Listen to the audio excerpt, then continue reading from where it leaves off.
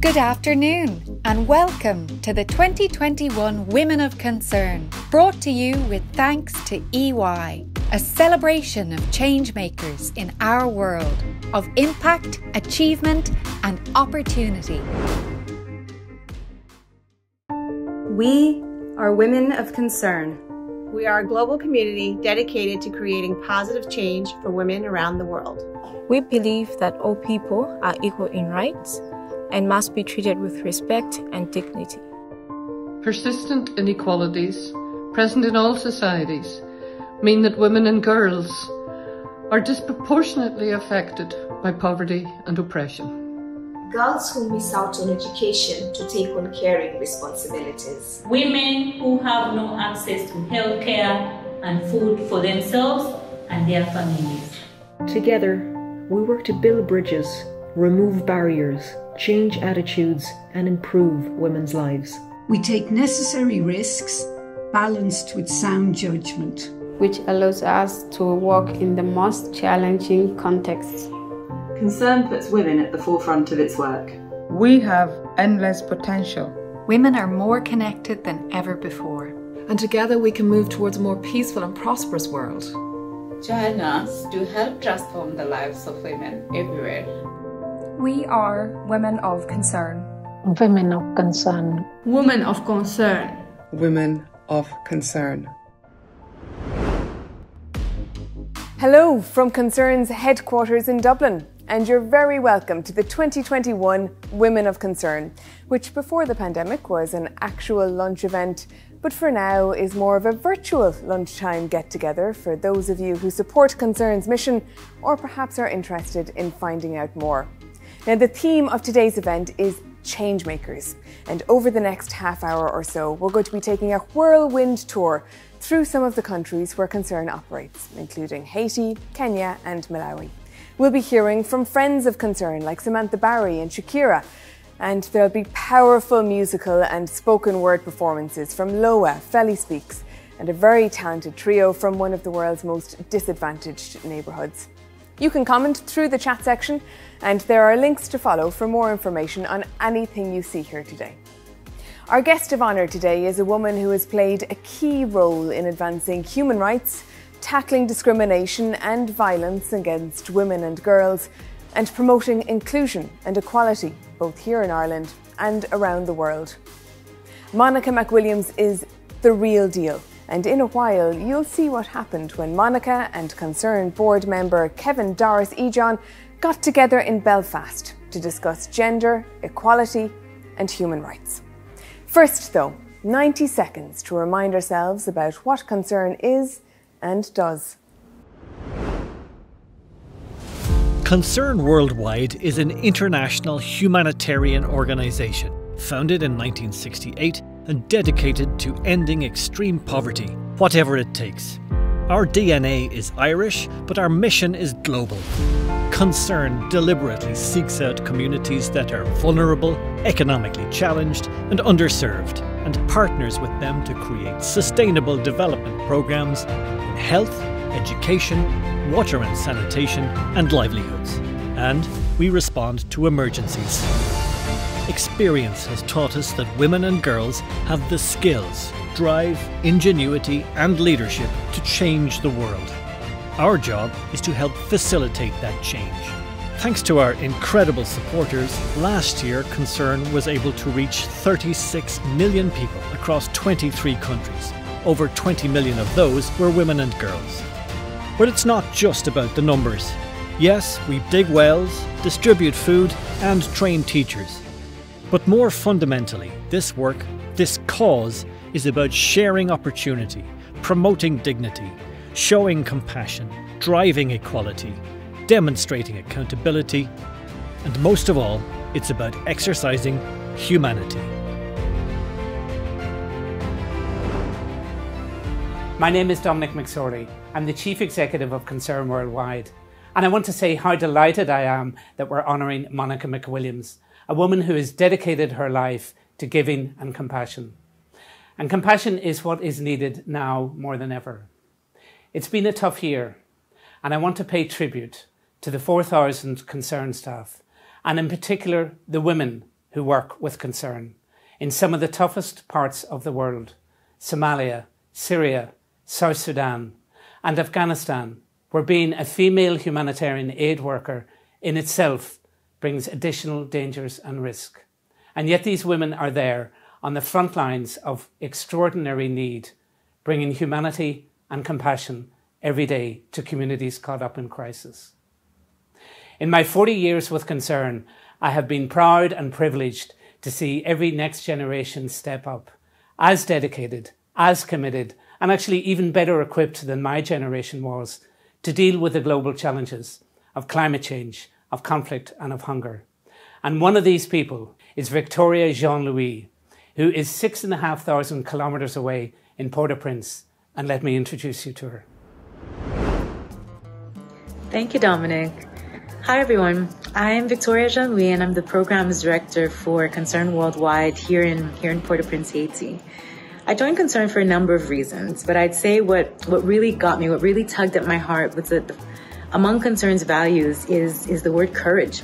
Concern, uh, you know, we make a commitment to be courageous, and the truth is that to tackle the the problems of our day, both the ones that our generation, my generation has created, but also those that we've inherited, takes tremendous courage, takes a certain level of steadfastness.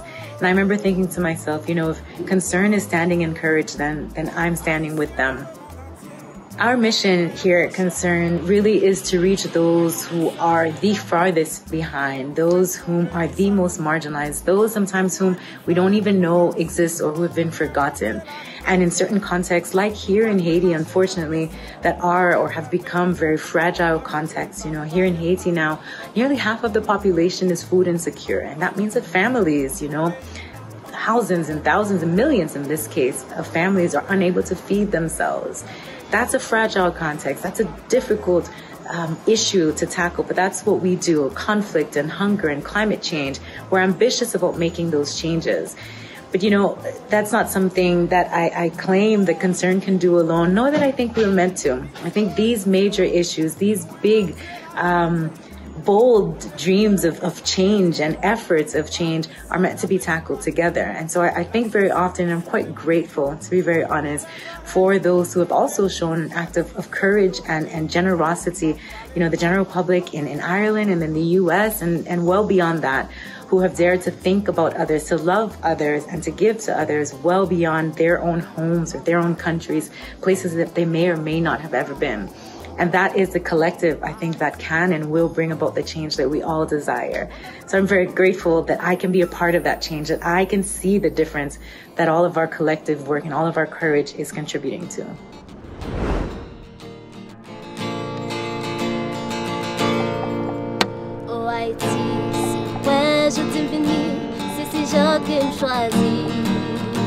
c'est parce m'a. Si wè ke melodi ke wap tande yon jantris Se kon sa mwen santi Amwe mwen ta ele, ele amwe ki eski katande Pou vin delivre. Se sel de to ti mou mwen ka konte sou yon ti gout papye Pou mdi ou ke mwen dezole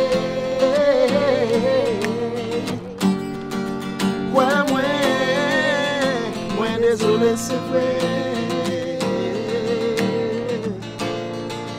Yon ti chante pou Haiti, pou m'dil santi sa l'santi. Yon ti chante pou Haiti, pou m'dil m'avek li. Yon ti chante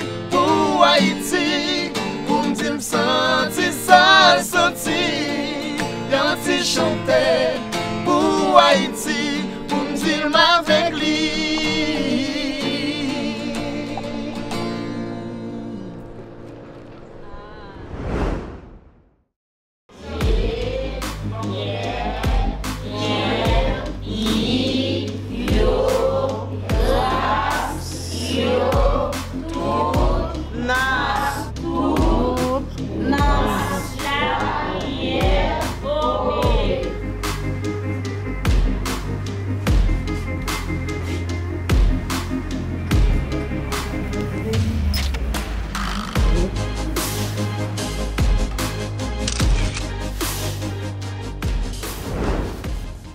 Much of the work Concern does these days is centred around shifting the balance of economic and social power to help women bring positive change to their communities and eliminate extreme poverty. As Samantha Barry, editor in chief at Glamour, discovered when she visited the southern African nation of Malawi, the results can be very powerful. Concern do a lot of things health, education, nutrition, emergency response. The list is really, really long. But underpinning all of that is a driving ambition to make sure that women and girls in some of the poorest countries in the world actually get to realise their full potential. I'm here in Malawi and I'm delighted to go and meet some of the women of concern. In a country where women have traditionally done much of the work and seen little in return, the tide is turning. Stawa and Esme are two of the strongest women you could meet, and not so long ago, they were also amongst the poorest. Everyone in this village knew that my children used to sleep hungry. Sometimes my children would not go to school because they did not have enough food. Both are part of Concern's groundbreaking graduation programme, a systematic approach to helping the very poorest families lift themselves out of poverty permanently. It involves self development, new agricultural techniques, business training, and mentorship with regular cash payments to help give them the time and space they need to develop. My life has changed in so many ways. Even my neighbors are surprised because they did not expect that I would have the things that I have now. I am able to build a house. Uh, now we eat three times a day, and my children are now also able to go to school. Concern has also been working to influence the attitudes of men towards gender equality. Jowdy is proof that it can work. He started to shoulder more of the domestic duties and share responsibilities with his wife Mary. Some of his male friends wonder if maybe she slipped him some juju juice or love potion. Oh. but there's no magic here, just hard work and determination, of which the women of Malawi have plenty.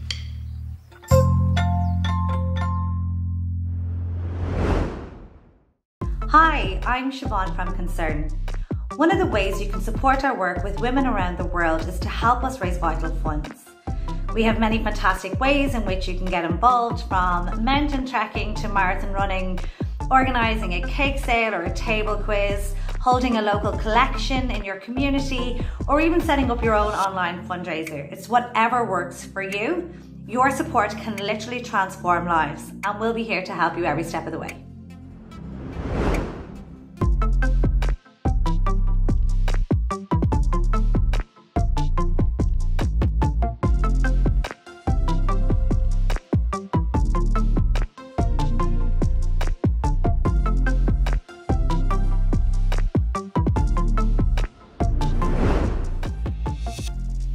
Violence and discrimination against women and girls is on the rise, driven in part by the isolation and despair experienced by so many during the pandemic lockdowns and economic struggles brought on by COVID. Well, Concerns Equality Advisor Bernadette Crawford has more insights into this incredibly important issue and some of the solutions being put into practice. Violence against women and girls is a global pandemic, underreported, often hidden, poorly addressed, and now seriously exacerbated by the effects of the COVID 19 pandemic. During displacement and times of crisis, the threat significantly increases for women and girls. For those affected, it has severe physical, psychological, and economic consequences. In countries like Sierra Leone, Lebanon, and Syria, Concern has been providing support to women and girls to ensure that they can access life saving services, including emergency cash assistance, legal support, and protection hotlines. But as with most problems, the real long term solution is prevention. Experience has taught us that actively engaging with men to influence attitudes and behaviours that are deeply rooted and passed down through generations is the most impactful way to achieve lasting change. Currently, we are implementing such programs in 14 countries, from Malawi to Liberia, Niger to Bangladesh. Women talk about the shifts and changes in communications, husbands helping out with chores, and overall more harmony and peace in the home. Naphunzirapo kuti kupangira banja ndi limodzi chitukuko chikafuna chitimire banja limwe linaenda patsogolo abangankhanza kwambiri kummenya nthawi ina komwe mwatira kumwano mkazi pano yayi tendere mm. ulipo tsogololi ndipiona bwino mumtima ndikuva ndikukoma Equally important is economically empowering women. Not only does it give women security if they have to leave their husbands, but our own research has shown that husbands respect their wives more when they are contributing economically to the household, reducing levels of gender based violence and shifting the power imbalance in the process. Success doesn't come quickly, but we've seen real transformational change in many of the communities Concern has partnered with, and we're excited about the potential for bringing this work to scale. In the meantime, Concern will continue to advocate with partners at national and international levels to achieve gender equality and protection for women and girls. Gender based violence is just one of the areas of advocacy and activism in which today's guest of honour, Monica McWilliams, has been prominent for many years. A scholar and a practitioner, she has been a driving force behind campaigns opposing discrimination, promoting peace, and tackling poverty across four decades. Through the toughest days of the Northern Ireland conflict, she campaigned on behalf of women of all creeds and political beliefs, and she was a signatory to the Good Friday Peace Agreement. She has been an elected member of the Northern Ireland Assembly and has shared her knowledge and experience with women from Afghanistan to Colombia to Syria. Kevin Doris E.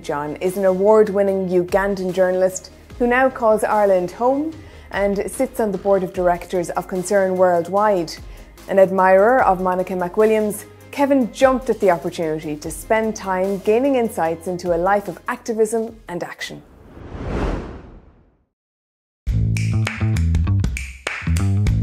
There have been so many trailblazers in the struggle for equality and empowerment around the world. And Monica McWilliams has undoubtedly been one of them. Her legacy is amazing. And she's not finished yet. But the road ahead is tough. And there's so much to learn from those who led the way. That's why I'm privileged to be here in Belfast to learn from one of the best. I love this part.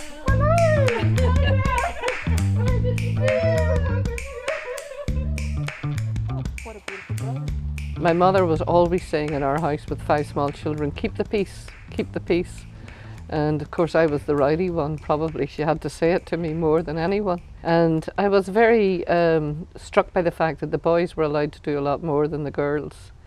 And when we went to pick potatoes in the fields, the boys got paid twice as much as us girls. And I started, I was only about 10, I started a bit of a strike about how the farmer shouldn't be doing that. Mm. University was a huge liberation. I was becoming independent.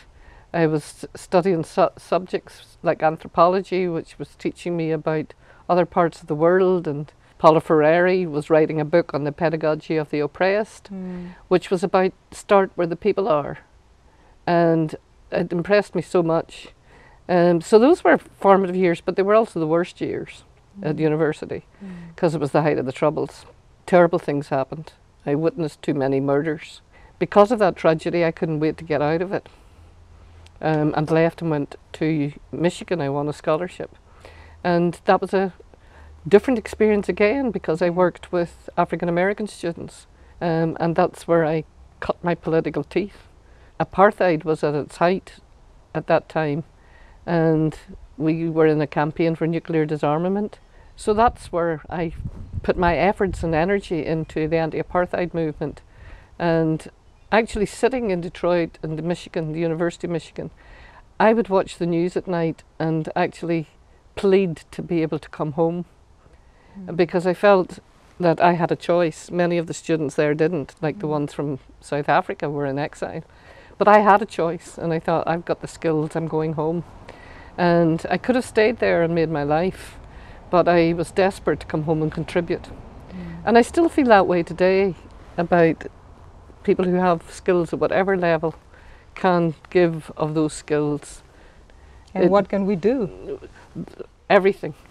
It's uh, different strokes for different folks. Yeah. And I've done every part of the jobs from working in women's aid, helping them, doing the policies, trying to write the changes to the laws, marching, going out reclaiming the night, sitting in court cases, advocating for rape victims, befriending people, driving the bus. And some people care, do it through funding, and that's absolutely brilliant because that's what's needed. It may be the only thing that you can do to show you care. So, what do you think are the greatest challenge facing us globally? Probably climate change, which is impacting on poverty and drought and famine. Um, poverty has always been the greatest challenge, um, but also the uh, tyranny. They're all intertwined. And I've seen the work that Concern does, and I'm its biggest fan. And I love to be a diplomat for Concern because I think Concern got it right. And, you know, it's organisations that have learned from the ground and they have the ear of government. Now, what more can you say? Why do you think uh, people should care about supporting people who live miles and miles away from us? What I took out of the troubles and the conflict was having champions.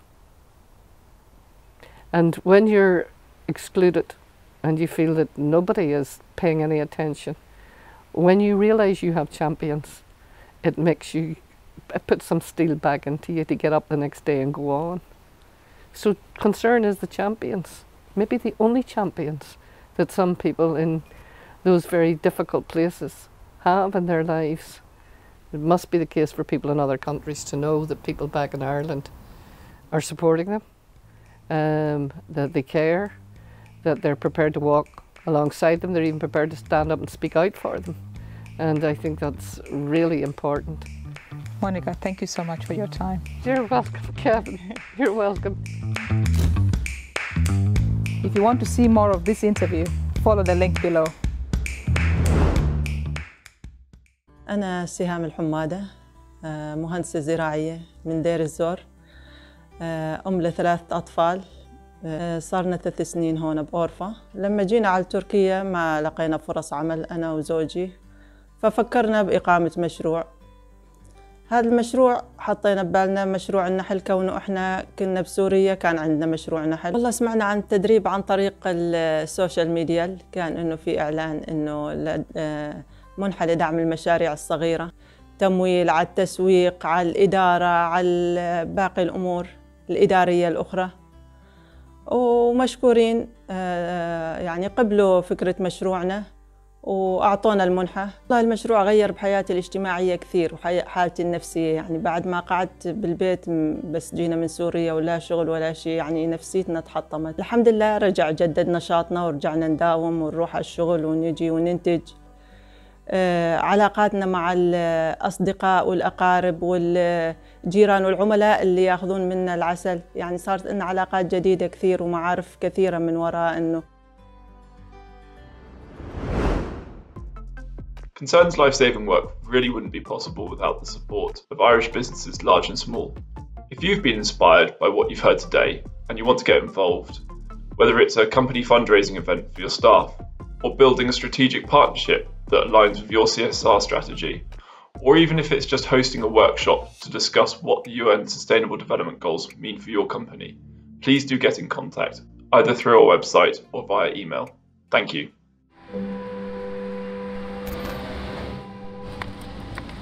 I am Syria.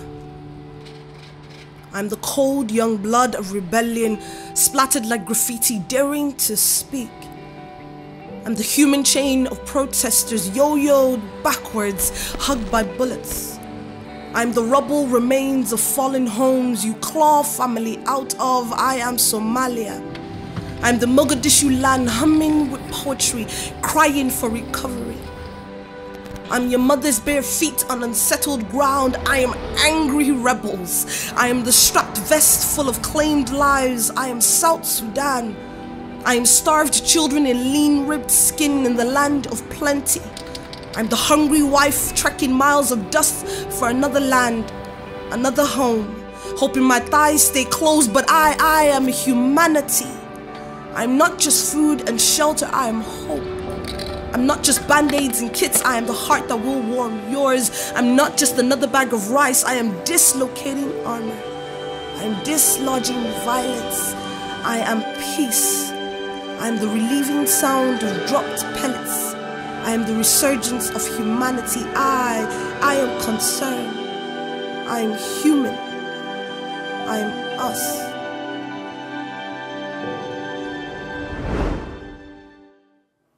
Sustainable Development Goal number two reflects a commitment by the nations of the world to achieve zero hunger by the year 2030, a goal that's becoming increasingly challenging to achieve.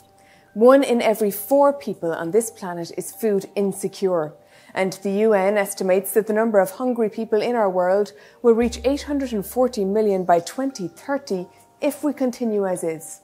For organisations like Concern, there's a double challenge helping communities to cope with the food crises that are happening now, and working with them to prevent future shortages.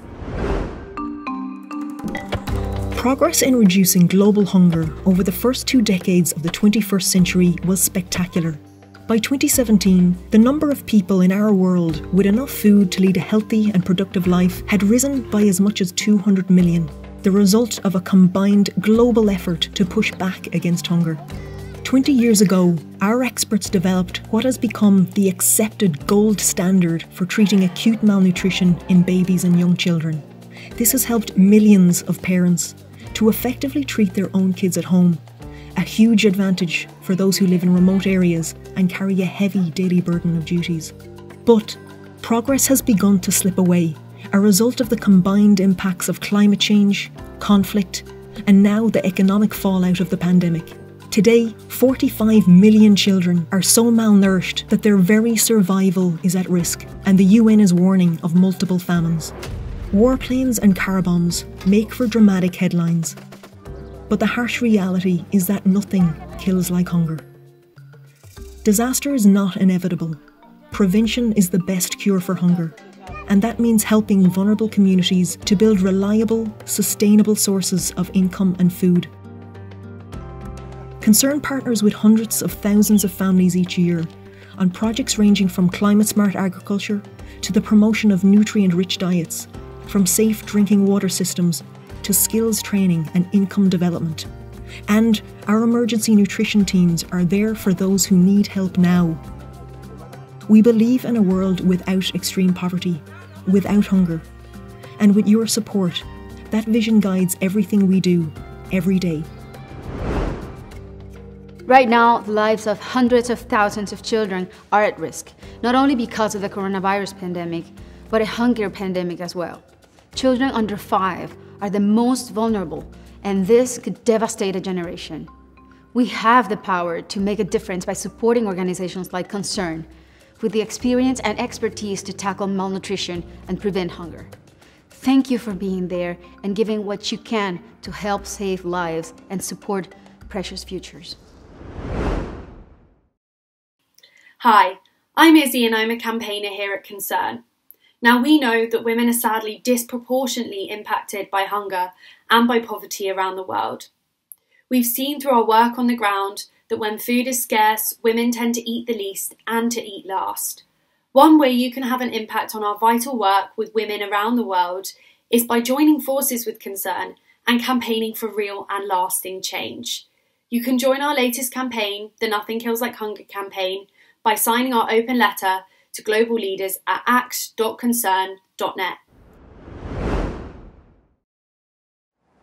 And that's it. Thank you so much for joining us for Women of Concern Changemakers and for all your input and your comments. Check out the various links and resources below and feel free to share the event recording with your friends and family and professional network. We'll leave you with a beautiful piece from Dublin based singer songwriter Loa, recorded on the Atlantic shoreline of Freetown in Sierra Leone. Stay safe and have a lovely day.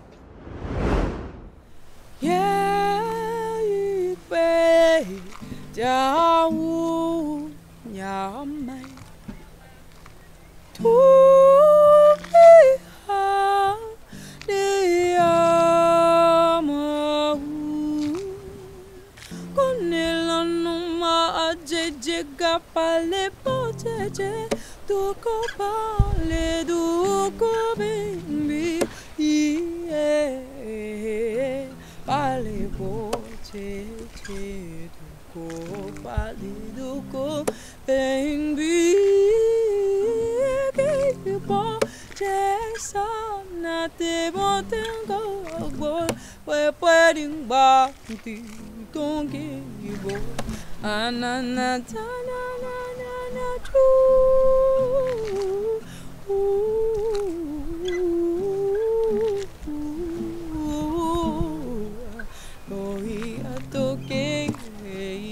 보가 좀 말랜데 아 처음 봄 예예 건넬로 누마 제지가 chichika